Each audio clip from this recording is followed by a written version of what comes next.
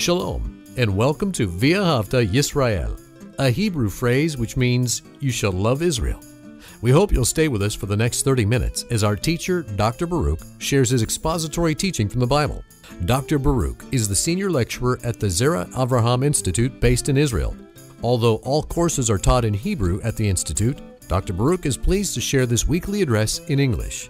To find out more about our work in Israel, please visit us on the web at loveisrael.org. That's one word, loveisrael.org. Now, here's Baruch with today's lesson. Have you ever had the experience where you shared something with someone else, something that was very important to you, something that you were looking for a response, a particular response from that person? And when they began to speak, well, you realize nothing that you really said to them got through. They did not understand and they were not willing or ready or able even to make that proper response to that request. Now, I think Messiah Yeshua, that he had that same experience many times when he spoke to his disciples, especially today. Take out your Bible and look with me to the book of Mark and chapter 10. The book of Mark and chapter 10. Now, we know that Messiah, he had a discussion with a wealthy young man about the kingdom of God. And this man, he was not willing to make the necessary sacrifice so that he would have rewards, great rewards in the kingdom of God. And we talked about the fact the reason for that is that he really didn't believe in that kingdom enough. He may have thought perhaps there will be. If so, I'd like to be there, but to really change his life and live it properly for the reality of the kingdom of God, that kingdom will be established. He wasn't willing to do that. He didn't have a proper perspective of the kingdom. And the question that we need to ask ourselves, not just today, but every day, do we have that proper perspective? And do we understand what it takes for us to enter into the kingdom of God? And what is that? The all sufficient sacrifice of Messiah. There is nothing more precious than that. And when we identify with Him, we receive Him into our life, we're going to live a sacrificial life. That's what worship is all about. So, what happens here? Well, Messiah, after dealing with that young rich man, he turns and he begins to share about the sacrifice that he's going to make. That sacrifice of laying down his life, not just being mocked and spat upon, but as we talked about at the close of last week, he's also going to be flogged and ultimately put to death. And speaking about this, this supreme act of love, this greatest sacrifice that the world has known, what happens? Well, remember how we began. Have you ever told someone something and you realize by their response, they caught none of it? They simply did not understand the significance of your words. That's exactly what we're going to see today in the life of first two disciples and perhaps all of them. Mark's Gospel, chapter 10. Let's begin with verse 35. Immediately after sharing about this, this, this act of love, this sacrifice, his death upon the cross, what happens? Verse 35. And, and coming to him, Yaakov, that is uh, James and John, the sons of Zebedee, they came to him asking him a question. They said, Teacher, we want that, that we should ask you to do something for us. So they have a request. Next verse, verse 36. And, and Yeshua answered, and he said to him, What do you want that I should do for you? Verse 37. And they responded to him, and they said, Give to us, meaning the right, the privilege. Give to us in order that on your right and on your left that we shall sit when you enter into your glory. Now, they had a wrong understanding of Messiah. Now, if you heard the term Messiah and you come from a Jewish background, a rabbinical background, that term Messiah, more often than not, is understood as a king. So these two disciples, they missed out on what he was sharing about his death. They only heard the emphasis on the kingdom, not the means of the kingdom, but the result of the kingdom. And what they wanted was to be part of that kingdom in a very, very elevated way. That is to sit on his right and on his left. Now, they didn't have an understanding that he was just not king like uh, David or Solomon or any of the kings of Israel. They did not know that he was the King of kings and the Lord of lords. They did not realize that this kingdom and the throne that he was going to be sitting upon, well, for example, if you look at the book of Revelation, you're going to see that throne of the Lamb is also the throne of God the Father. So if they would have understood that throne, they would have never asked that they might sit upon the right and the left. They were looking at that throne from an earthly standpoint, like any other kingdom in the world like the kings of Israel formerly, not this new kingdom, this holy kingdom, this righteous kingdom that Messiah was going to rule over. So, what was his response? Well, now look at verse 38. And Yeshua said, You do not know what you're asking. Now that's an important statement. It, it verifies, it confirms that, that they didn't have his identity as the Lord of Lords, the King of Kings, God incarnate. They didn't have that, that understanding in, in their minds when they asked that question. But look again at that verse. Messiah says, You do not know what you're asking. Now, now make a note, perhaps circle that word asking because it's going to become very important in a few minutes. This passage of Scripture really works with another passage of Scripture that we're going to look at in the second half of our study. And we need to remember how important it is this asking. He puts an emphasis upon it. He says, You don't know what you're asking. He says, Are you able to drink the cup that I am drinking? Or are you able to be baptized with the baptism that I'll be baptized with? Now, what's he talking about here? Well, remember, later on in the book of Mark, we're going to see that Messiah is in the garden. And one of the things that he, he prays, he says, if possible, speaking to his heavenly Father, if possible, remove this cup from me. Now, what is that speaking about? His call. What call? Well, the next thing he speaks about is baptism. And understand that, that rabbinically speaking and biblically speaking, there is an inherent relationship between baptism and death. So he's talking about his call. Are you able to, to walk in my call? Are you able to, to die for the sake of the will of God? So he's asking them some very hard questions. They probably didn't understand the fullness of those questions because they just flippantly says, "We're able." So Messiah says in response, "All right."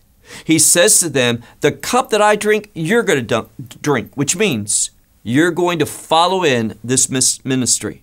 And the baptism that I was baptized with, you're going to be baptized with, which probably means that they're going to be martyrs for their faith. But nevertheless, he says, verse 40, he says, But to sit at my right hand and on my left, and by the way, there's a change in word.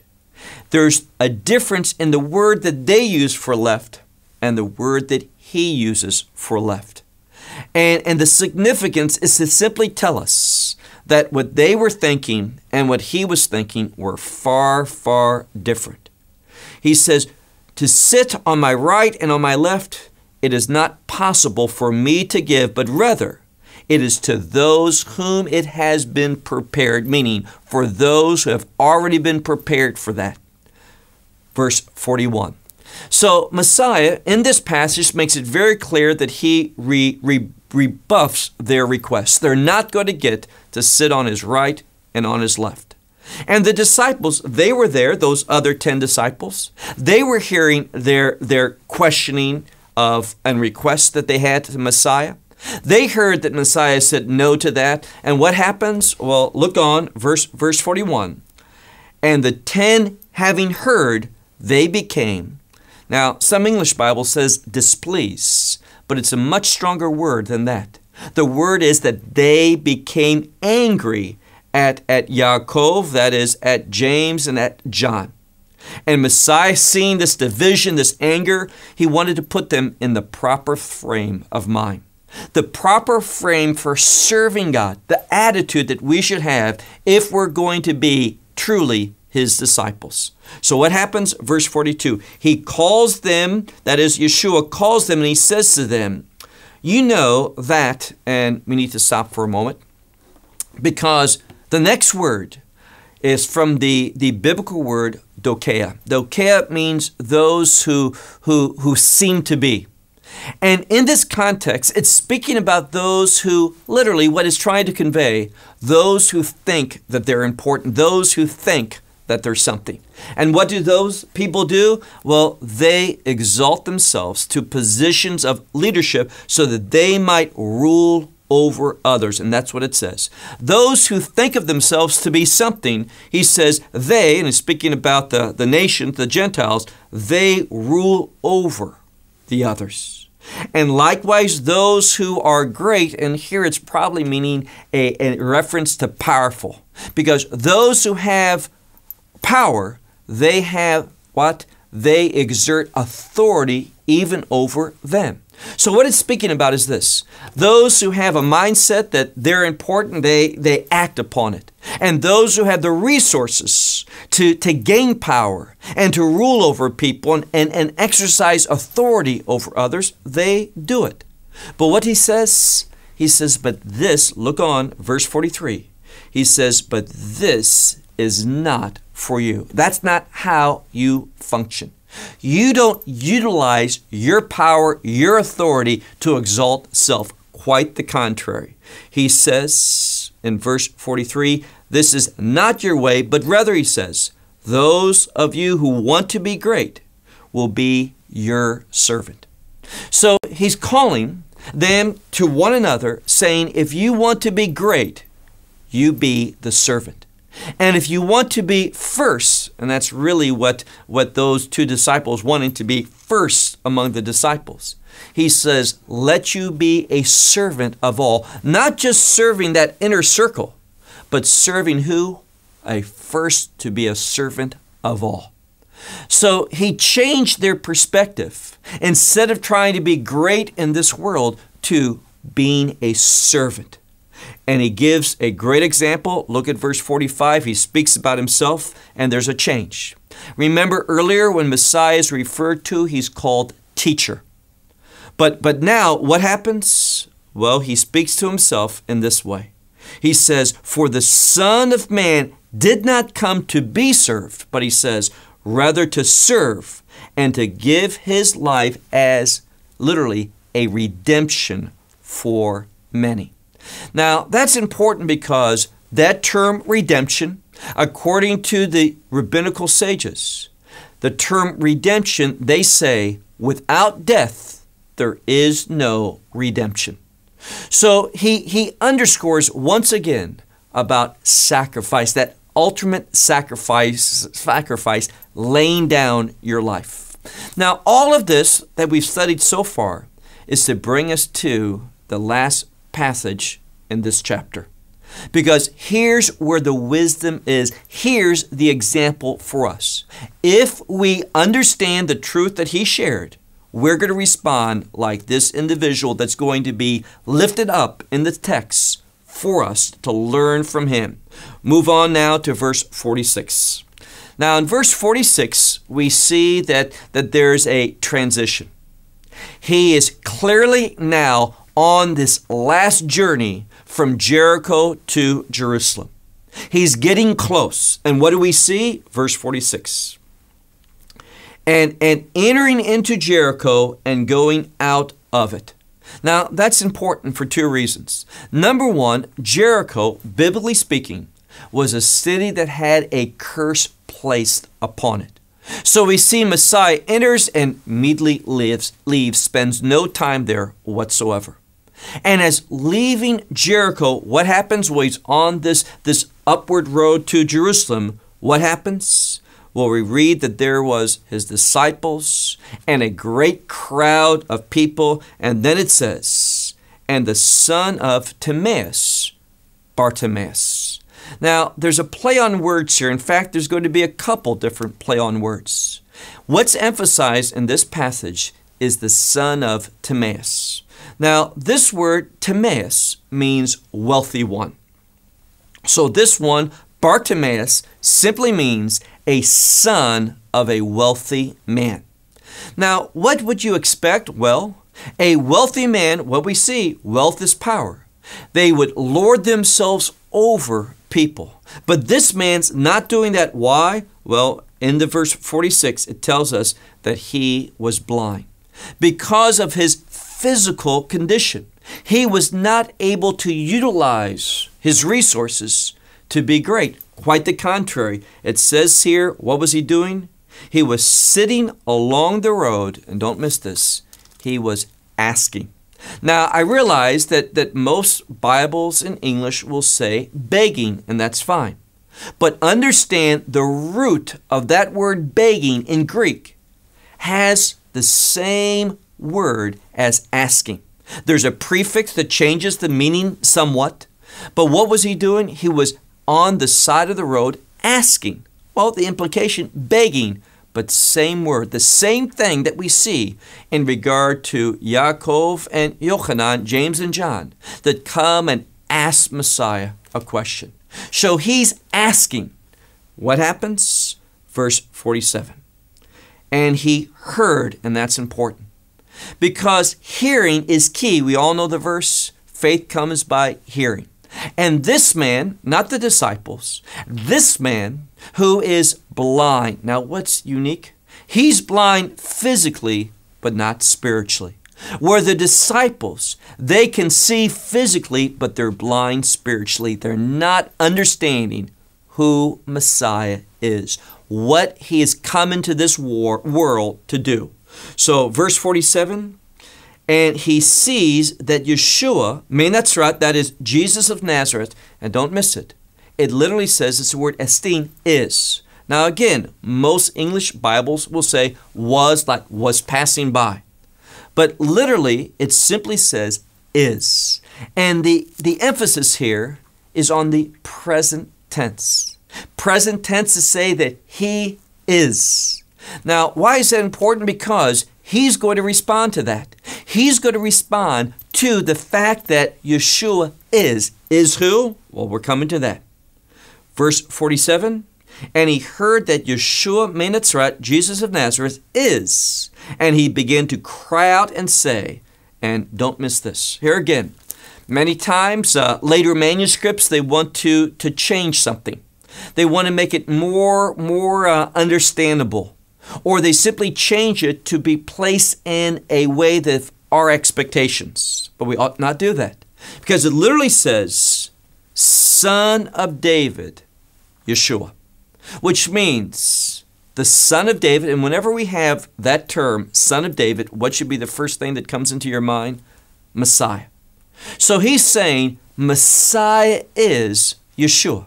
When he says, Son of David, Yeshua, the Messiah is Yeshua. He understands, and what's the key? Well, you go back up to that same verse hearing. He's heard. He may be blind, but he can hear.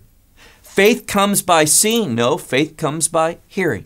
So this man is exercising faith. He has come, he has heard what Yeshua has done, and he has come to the proper conclusion that Yeshua is Messiah. He's the son of David. So what does he do? Well, look at it, verse 47. He cries out and he says, Be merciful unto me. Now, why would he say that? Well, if you think of Messiah in the traditional sense, Messiah is king. What should I get? A good place in his kingdom. But understand, that's when Messiah returns. He's going to return and establish his kingdom. That's not why he's here. What he has said over and over in this passage, this is the third time, that he's going up to Jerusalem to lay down his life. Why? Well, remember what we talked about. He even said this in verse 45 the Son of Man, Son of Man, servant. He's come into this wor- world to serve. Doing what? To lay down his life as a means of redemption. Now, redemption is important because redemption produces something. Redemption produces the mercy of God. It makes the mercy of God available to us. Messiah, there's a connection between Messiah and mercy. So when this one hears Messiah, Menatzrat, Yeshua is coming, he understands he's the son of David, that he's going to, to establish a kingdom. He understands Mashiach, king, but he also understands a preliminary role of Messiah, and that is to be an instrument of grace, an instrument of mercy. Now, one of the questions that we should ask ourselves, not just today, but every day, and that's this When was the last time you beseeched the Lord for mercy? Messiah, He has laid down His life so that we can be a recipient of His mercy. And all too often, we ask for this and we ask for that. We have this want and that desire. We deal with these problems and these things going on in our life, but we never really beseech Him for mercy. Well, this was not the case with this man, Bartimaeus. He cries out, Yeshua, son of David, be merciful to me. Look on to verse 48. Now, verse 48 there's a play upon words. And it's only in the biblical language that you can see this. Now, we've already talked about the term that, that is used here is uh, Bartimaeus, son of the wealthy man. But if you look at verse 48, it says, and, and many rebuked him that he should be silent. But what's the word for rebuke? Well, the root is timeo, epitimeo. It's the same word that relates to his name. But understand something. Even though here, and here's a play on word, we see the dichotomy. We see the two perspectives. The world, this word epitimeo, it can mean two things. If you check it out in a Greek lexicon, epitimeo, it can mean, like we see here in most translations, this is what they were doing, rebuking him. But literally, that word means to set value upon. And we have the perspectives of, of the world.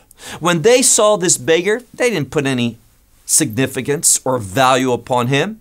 In fact, he was crying out, what did they say? Be silent.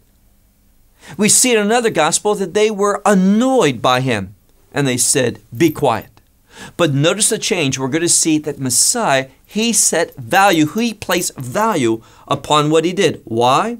Well, look on, verse, verse 48. The more that they said, Be quiet, and rebuked him, the more, the rather he cried out, Son of David, have mercy upon me. And when he realized that Yeshua, he wasn't going to be quiet because this is the only opportunity that he had for mercy.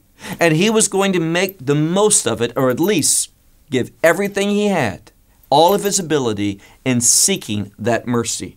And what happened? Well, that type of behavior did something. Now, remember the context. Messiah, from, from the pages of Scripture, we see that, that the book of Mark is increasing. Things are moving faster. Why? It's all coming together in Jerusalem. And when he comes to Jericho, usually, and we know from a physical standpoint, if you're at Jericho, you're about at sea level.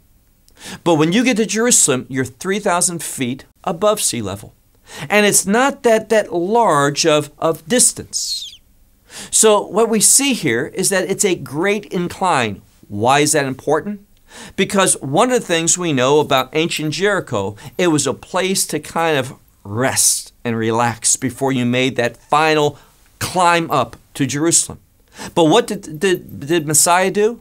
He comes, he enters into Jericho, and he immediately leaves. No resting, no stopping. Why? Because he is, is focused upon what he's about to do.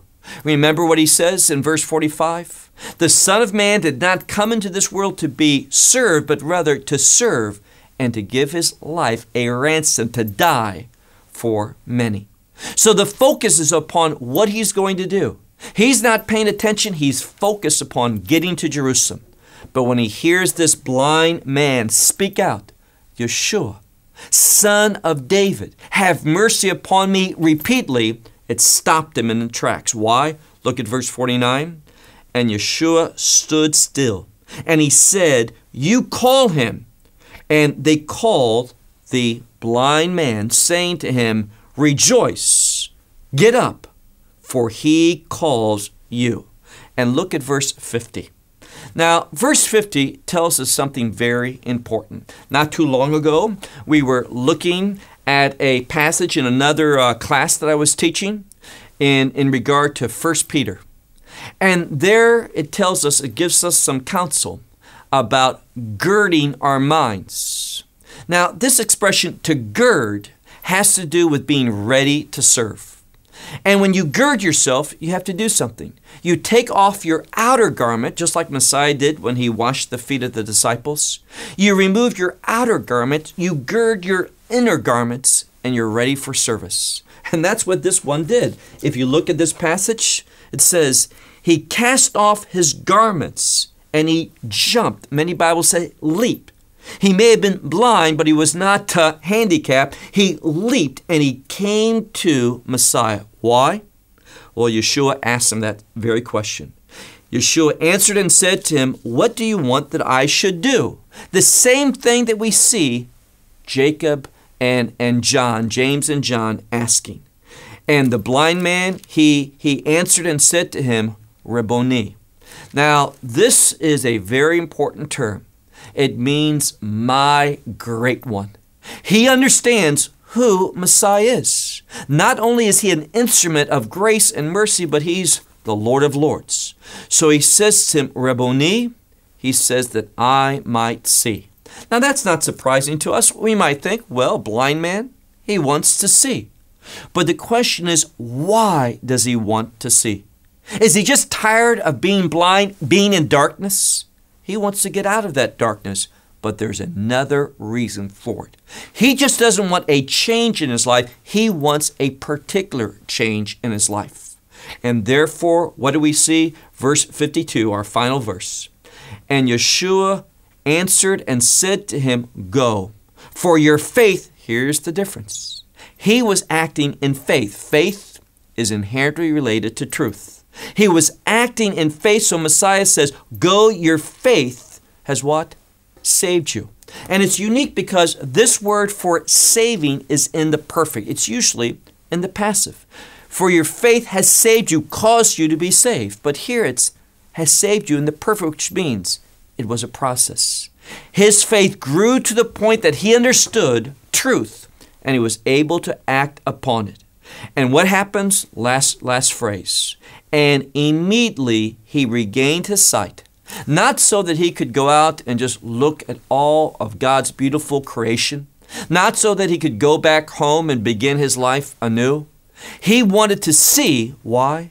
He wanted to be in the light so that he could follow after Messiah. And that's exactly what it says. It's amazing because he says, Go away.